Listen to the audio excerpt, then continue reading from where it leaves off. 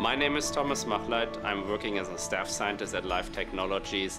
One reason customers come to us and collaborate with us is the direct access to our technology platform. Another reason is that we are very responsive.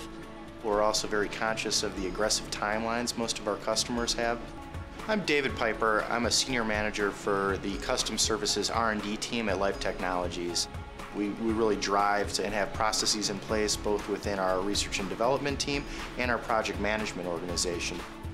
I'm Kurt Vogel. I'm the R&D leader for Discovery and ADME-Tox Systems based in Madison, Wisconsin and Durham, North Carolina. One of the things that we, we bring to the collaborations that should be completely invisible to the customer, but that is a lot of work, is coordinating everything internally.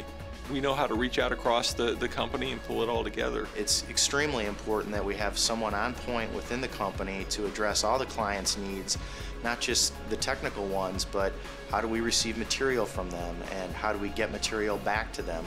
Are there any legal issues that they need to be aware of? Some of the things that we've done to make uh, customers successful with some of our technologies uh, is actually send an R&D person on site or invite their, their team here. We collaborate via conference calls. We'll get together, discuss the project, and then also throughout the project we'll update the customer in terms of our progress and to address any problems or issues that do arise.